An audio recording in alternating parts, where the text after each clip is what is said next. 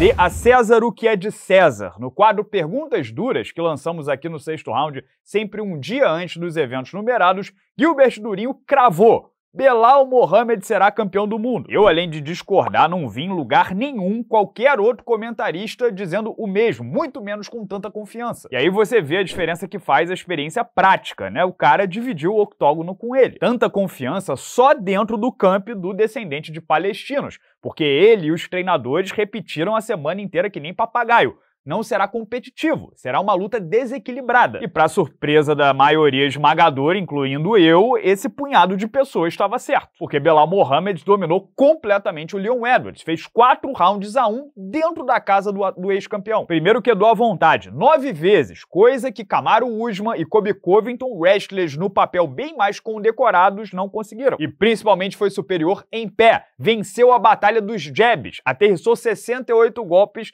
e absorveu apenas 47, ou seja, tocou e não foi tocado. Dois dias antes, estava todo mundo rindo do treinador dele, dizendo que Belal incorporou a escola mexicana de boxe, né? E agora, verdade seja dita, Leon Edwards lutou como se tivesse com dengue, letárgico, mole, irreconhecível. Ele botou na conta do horário da luta. Eles entraram no octógono quase 6 horas da manhã. Leon disse que no primeiro round já estava cansado, sem força. Mas e aí? Eram 6 da matina para o adversário também. Tom Aspinall não dormiu no dia anterior, ficou 22 horas acordado e teve aquela performance. Eu entendo, Belal tem carisma negativo, tá todo mundo achando que ele vai ser o campeão menos popular da história, mas tem que separar. Uma coisa é uma coisa, outra coisa é outra coisa. Daniel Cormier, que estava ali a metros, comparou a eficiência dele ontem com o Habib Nurmagomedov no auge. A sequência de 11 vitórias seguidas, a terceira maior da história da categoria, prova que não é exagero, talvez seja má vontade nossa. Belal é muito difícil de ser batido porque a grande virtude dele é transformar resistência física em arma. Ele não é cracaço em nada, mas afoga os adversários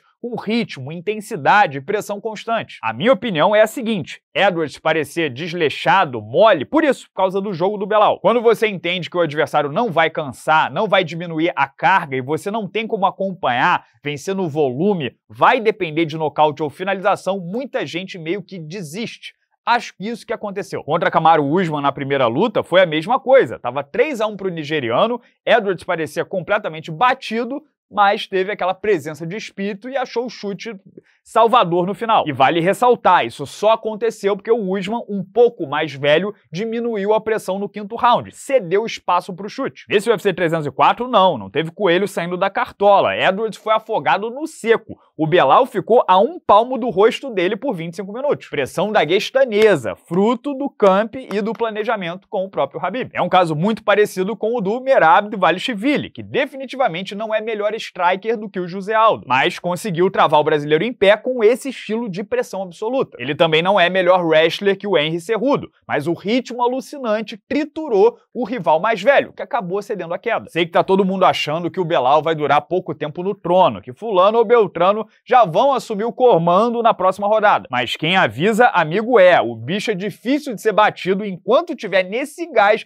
absolutamente ninguém terá uma noite divertida contra ele. Sobre a próxima rodada, Belal fez um discurso bacana na coletiva de imprensa. Disse coisa do tipo: sei o perrengue que foi para conseguir o tarot shot, tive que literalmente implorar, então não vou ser um campeão que fica escolhendo, sentando em cima do cinturão. Quero ser ativo e venha qualquer um. Já ouvi isso antes, e a realidade já já atropela a intenção quando ele descobrir que para lutar com o fulano ele ganha X e para lutar com o Beltrano ele ganha 3X. Mas pelo menos no começo é bacana que ele pense assim, seja um campeão acessível, ativo. Acho que a situação vai ser organizada da seguinte maneira: o Islam Mahashev está com um problema na mão, talvez precise de cirurgia. Se precisar, não luta mais em 2024. Nesse caso, vão precisar de outra luta principal para o PPV de outubro em Abu Dhabi. E só há duas opções onde muçulmanos disputam cinturões. Magomed Ankalaev versus Alex Poitin, sendo que o brasileiro já avisou que prefere voltar só em dezembro, ou Belal Mohamed já dando a meia volta, entrando imediatamente em camp e encontrando o próximo da fila, que é exatamente Shavkat Rakhmonov, também muçulmano. O Nomad, aliás, reagiu da seguinte maneira à luta principal do UFC 304, abre aspas. Parabéns pela vitória muito merecida, Belal. Espero que mantenha a palavra e defenda contra mim quando estiver pronto. Acho uma ótima solução, luta muito dura para os dois.